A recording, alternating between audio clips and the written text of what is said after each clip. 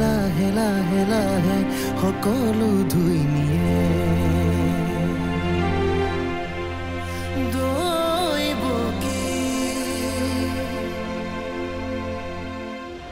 মই নিজৰ ইচ্ছাৰে একোৱেই কৰা নাছিলোঁ। মই যি কৰিছিলোঁ একমাত্ৰ বাধ্যত পৰি কৰিছিলোঁ। পৰিস্থিতিয়ে মোক বাধ্য কৰাইছিলে বাইদেউ। যিবোৰ হৈ গ'ল তাৰ কথা ভাবি থাকি এতিয়া একো লাভ নাই। কথা হ'ল মই মোৰ ছোৱালীক মোৰ জুম্পুজনীক তোৰ হাতত গতালোঁ। মোৰ বিশ্বাস তই তাইক মৰমেৰে তই ভাবিছাচোন এই গোটেই খেলি মেলিবিলাকৰ মূল মানুহজনী এওঁ নহয়নে? শাৰদা অহাৰ পাছত কি দৰকাৰ আছিল ইমান ডাঙৰ এখন নাটক কৰাৰ? কি দৰকাৰ আছিল মৌচুমীক বিধৱা সজোৱাৰ? কি দৰকাৰ আছিল জুম্পুকনি নিজৰ ঘৰত ৰখাৰ? বাই মোক কিয় এৰি গ'ল? মা নহ'লে মই কাৰ লগত থাকিম। বাই দেখোন মোক এই নাযাওঁ বুলি কৈছিল। কিবা কথাত সাঁতৰি গৈছে। আকৌ আহিব নহয়। মা আহিবনে নেবেন খুৰা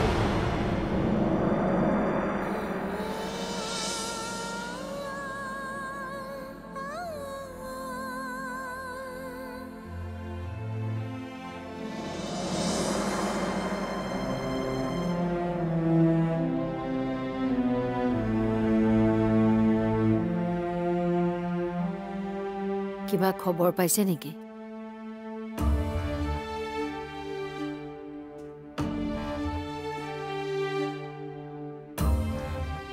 ভণ্টি কলে গ'ল কিবা খবৰ পাইছে নেকি? ক'ত খবৰ পাম? কোনে দিব খবৰ মোক? তাই কলৈ যাব পাৰে? আপোনাক একো কৈ থৈ যোৱা নাই? মোক কোৱা হ'লে জানো মই যাবলৈ দিওঁ? তাইক বিচাৰি ঘৰলৈ ঘূৰাই আনিব লাগিব। আনৰ বাবে নহ'লেও তাইৰ ছোৱালীজনীৰ কাৰণে ঘূৰাই আনিব লাগিব। তাই নহ'লে ছোৱালীজনী কেনেকৈ থাকিব? তুমি নোহোৱাকৈ জানো অনি থাকিব পৰা নাছিল। মৌচুমীয়ে জুম্পুক তোমাৰ ভৰসাতে থৈ গৈছে। তুমিয়ে তাইৰ মাক হ'ব লাগিব। তুমি মাৰাৰ অবিহনে যেনেকৈ মৌচুমীক ডাঙৰ কৰিছিলা জুম্পুকো তেনেকেই ডাঙৰ কৰিব লাগিব।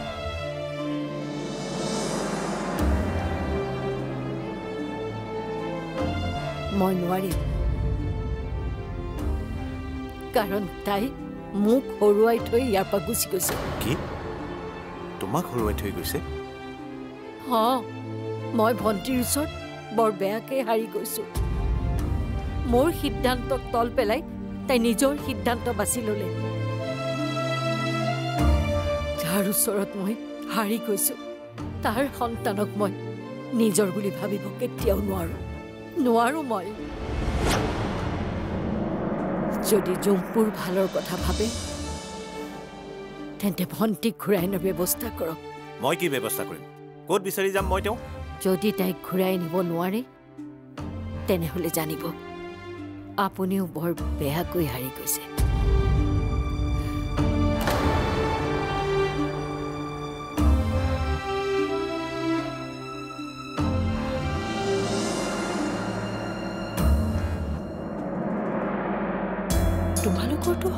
মানুহো তেনেকৈ কোনো নাই।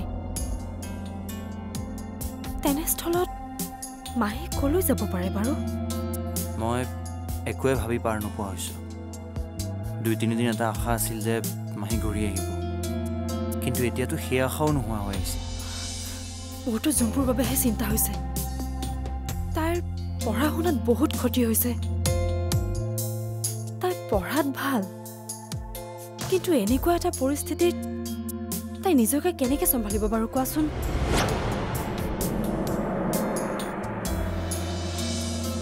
মোৰে মগজুৱে কাম নকৰা হৈ আহিছে। তাইৰ কথানো কি ক'ম? কেতিয়াবা মোৰ এনেকুৱা লাগে যেন এই সকলোবোৰ এৰি থৈ মই ক'ৰবালৈ গুচি যাম। কি কথা কৈছা অনিমেষ এনেকুৱা সময়ত এনেবোৰ কথা নক'বাচোন। তোমালৈও মোৰ বেয়া লগা হৈছে। সন্মুখত তোমাৰ এক্সাম আহি আছে। আৰু তুমি সোমাই পৰিব লগা হৈছে আমাৰ ঘৰৰ এই চিটুৱেশ্যনবোৰৰ মাজত। তোমালোকৰ ঘৰৰ এই পৰিৱেশটোৰ বাবে মইহে দায়ী। কোনো দায়ী নহয় মনা। এয়া আমাৰ ভাগ্য। ভাগ্যই আমাক টানি লৈ ফুৰিছে। নাজানো। ভাগ্যত আৰু কি কি লিখা আছে?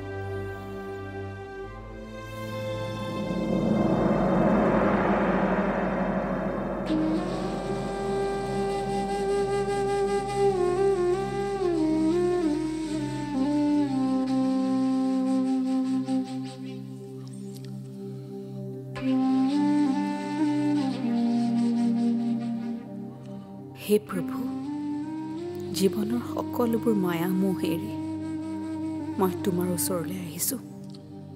মোক তোমাৰ চৰণত অলপ স্থান দিয়া প্ৰভু। অলপ স্থান দিয়া।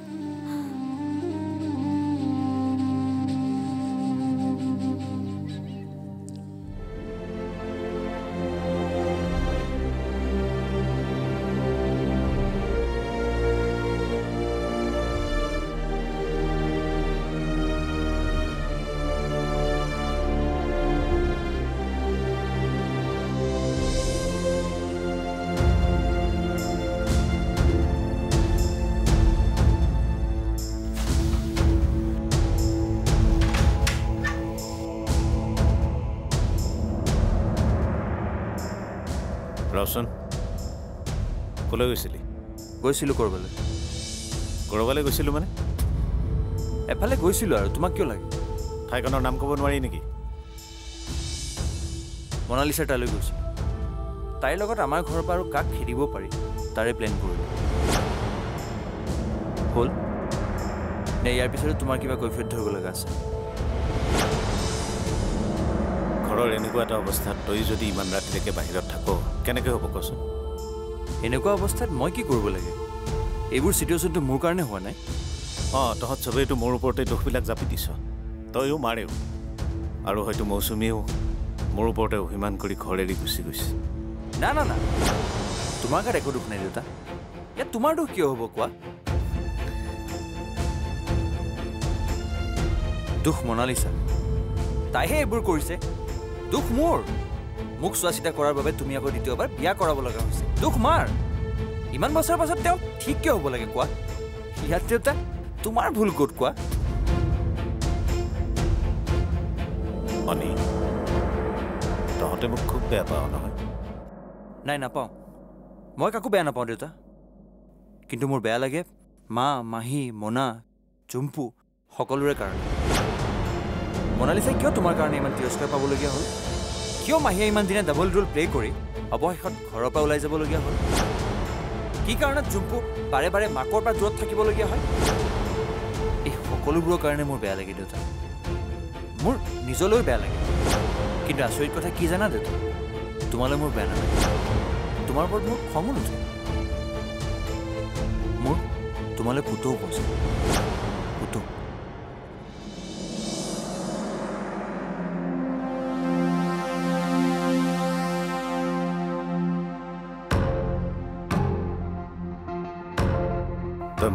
থিয় হৈ কথাবিলাক ভাবিছা। নিজে এবাৰ মোৰ হৈ ভাব। অশোক বৰুৱা হৈ ভাবিছা। এই মানুহটোৰ গাত কি দোষ? মই যদি তোৰ ল'ৰা হৈ প্ৰশ্ন কৰোঁ। কওক অশোক বৰুৱা এইবোৰ আপুনি কিয় কৰিলে? কি কাৰণে প্ৰথমা পত্নী বেমাৰত পৰি থাকোঁতে আপুনি দ্বিতীয় বিবাহ কৰালে? কিয় আপোনাৰ ল'ৰাটো থকাৰ পাছত ছোৱালীজনীৰ জন্মৰ কথা ভাবিলে? কি কাৰণে দ্বিতীয় পত্নীৰ কথা প্ৰথমা পত্নীৰ ওচৰত লুকুৱালে? কওক এইবোৰ কিয় কৰিলে? উত্তৰ দিয়ক অশোক বৰুৱা উত্তৰ দিয়ক! আপোনাৰ গাত দোষ আছে নে নাই? দেউতা তোমাৰ কি হৈছে দেউতা? মই নিজকে বাৰে বাৰে এই প্ৰশ্নবিলাককে কৰি আছো। মোৰ ক'ত ভুল হৈ গ'ল?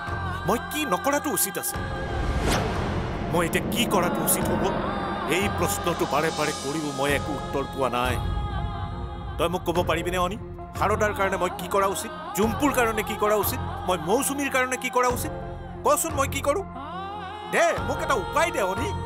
উপায়টো মই দিছোঁ। ভণ্টিক বিচাৰি লৈ আনক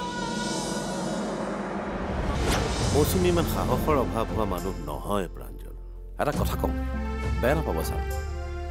এই কথাটোত কিন্তু আপুনি অলপ সাহস কৰা দৰকাৰ আছিল। আপোনাৰ এটা সবল স্থিতি নেদেখাৰ বাবে মৌচুমীয়ে ঘৰত থকাটো নিৰাপদ বুলি নাভাবিলে। অৱশেষত তুমি মোক দোষ দিলা প্ৰাঞ্জল।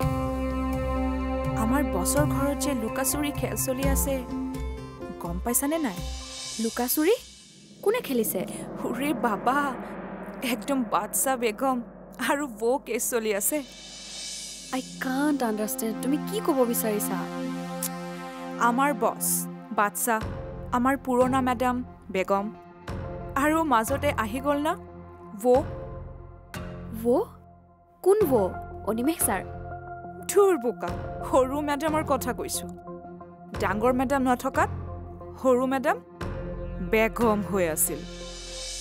যখন ঘৰে বড়ো মেডাম আহি গ'ল সৰু মেডাম সৰু মেডামৰ লগত গণ্ডগোল লাগি গ'ল এতিয়া শুনিছো বোলে সৰু মেডাম গায়ব। সেইখন খেল নহয়তো আৰু কি? এজনী বেগম লুকাই গ'ল আৰু এজনী আহি গ'ল নতুনজনী আহি গ'ল পুৰণাজনী লুকাই গ'ল। এইবোৰ ডাঙৰ ডাঙৰ মানুহৰ ডাঙৰ ডাঙৰ কথা। আমাৰ মাথায় নাই এসব ঢুকে না ৰে। ঠিক কৈছা দেৱাশ্ৰী এইবোৰ কথা তোমাৰ মোৰ নিচিনা মানুহে বুজি নাপায়। স্যাৰ উম, মানে sir sorry sir. I am extremely sorry sir actually বছৰ ঘৰৰ কথা পাতি আমি ক্ৰাইম কৰিছোঁ sir I am sorry sir Debashree ছাৰৰ ঘৰৰ এই খেলখনত কিন্তু আমাৰ ছাৰে কিবা এটা ষ্টেণ্ড দিব লাগিছিল নহয়। নে কি কোৱা? ছাৰ মানে sir? It's only my opinion okay কাম কৰা।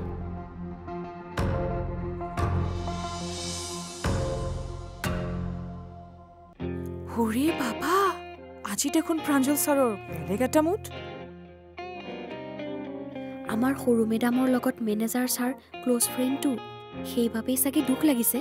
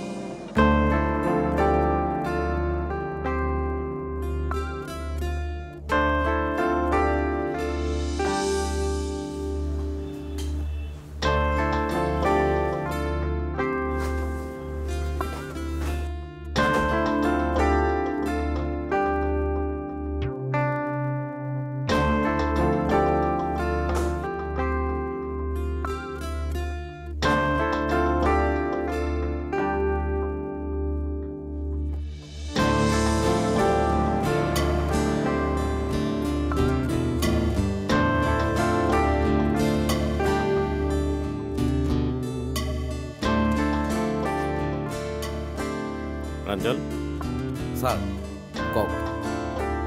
ই শনি আহিছে নেকি? দেখা নাইতো ছাৰ আপোনাৰ গাটো ভাল নহয় নেকি? নাই ঠিকে আছে। দেখাত আপোনাক অসুখীয়া যেন লাগিছে যে। মনৰ অৱস্থা বেয়া হৈ থাকিলে মানুহৰ চেহেৰা ভাল হৈ নাথাকে প্ৰাঞ্জল। মৌচুমীয়ে একো কণ্টেক্ট কৰা নাই? নাই। মই বৰ আচৰিত পাইছোঁ প্ৰাঞ্জল আমাৰ কথাটো বাৰু মই বাদ দিলোঁ। কিন্তু চুম্পুকে তাই এনেকৈ যাব পাৰিলে যে। জীয়েকক এৰি থকাটো হয়তো তাইৰ বাবে সহজ হৈ পৰিছে ছাৰ। বহুত দিন জুম্পুক এৰি থাকিব লগা হ'লতো। আচলতে আমাৰ সেই কামখিনি কৰাটো এটা ভুল সিদ্ধান্তই আছিল। ভুলবিলাক এটাৰ পাছত এটাকৈ হৈ থাকিলে এদিন এটা বেয়া ফল দেখুৱাই ছাৰ।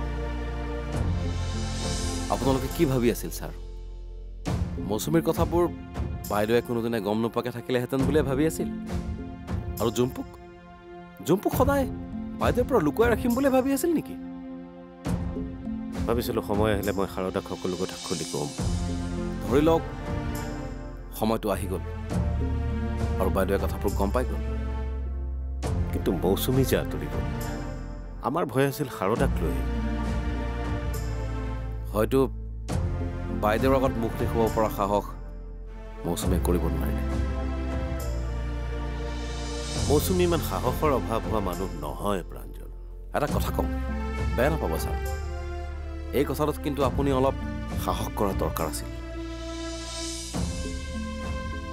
আপোনাৰ এটা সবল স্থিতি নেদেখাৰ বাবে মৌচুমীয়ে ঘৰত থকাটো নিৰাপদ বুলি নাভাবিলে। অৱশেষত তুমি মোক দোষ দিলা প্ৰাঞ্জল। ঘৰৰ সকলোৱেতো মোক দোষ দিছেই।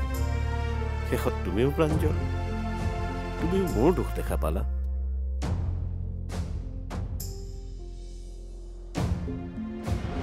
মই জানো চব মিলাই থকা নাছিলোঁ শাৰদাক ঘৰত ৰাখিব নোৱাৰা দিনটোৰ পৰা আকৌ ঘৰলৈ ঘূৰি অহা দিনটোলৈকে ময়েতো চব মিলাই আছিলোঁ। কিন্তু শাৰদা ঘূৰি অহাৰ পাছত মনালিচাই মিলাবলৈ গৈ সকলোবিলাক খেলি মেলি কৰি দিলে। বাহিৰৰ মানুহক ঘৰৰ কথাত সোমাব দিলে খেলি মেলিবোৰ হ'বই ছাৰ। মনালিছাৰ ক্ষেত্ৰত কিন্তু সকলোবোৰ দুখ মই বনিকেই দিম। সেই ছোৱালীজনীক অলপ ডিষ্টেঞ্চত ৰাখিব লাগিছিল। কাৰণ তাইৰ উদ্দেশ্য বেলেগো হ'ব পাৰে। বাইদেউৰ জৰিয়তে আপোনালোকৰ ঘৰৰ কথাত সোমাই যদি তাই অনিকো আঁতৰাই লৈ যায়? মই চব বুজি পাওঁ। তোমালোক চবেই মোৰ গাতে দিছাতো মৌচুমী মোৰ ঘৰ মোৰ কাৰণে ঘৰ এৰি গুচি যাব লগা হ'ল বুলি ভাবিছাতো হ'ব মই মৌচুমীক আনি দিম।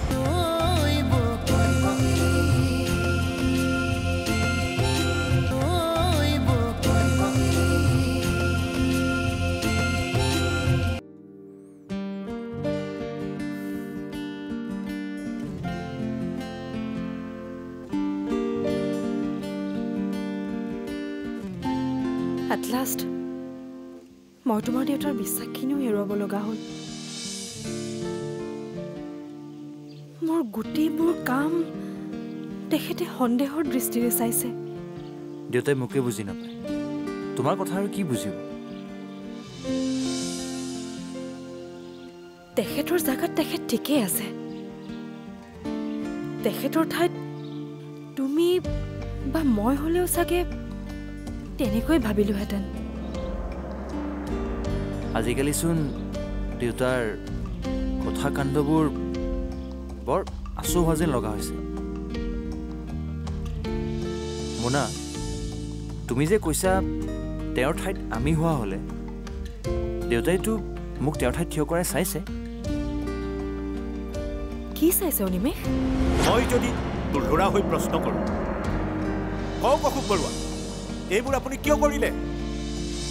কি কাৰণে প্ৰথমা পত্নী বেমাৰত পৰি থাকোঁতে আপুনি দ্বিতীয় বিবাহ কৰালে? কিয় আপোনাৰ ল'ৰাটো থকাৰ পাছত? ছোৱালীজনীৰ জন্মৰ কথা ভাবিলে।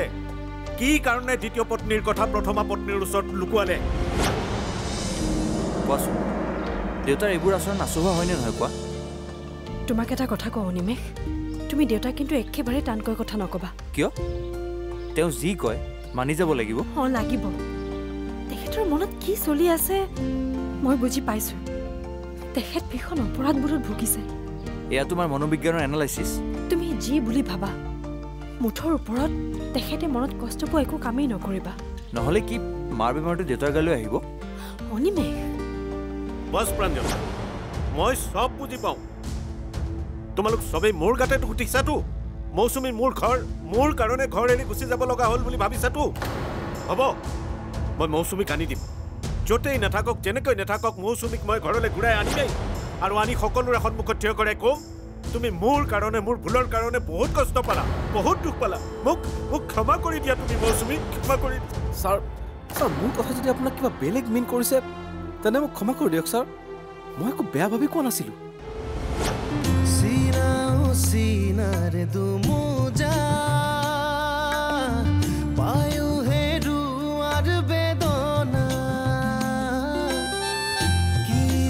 কি সঁচা কিনো মিছা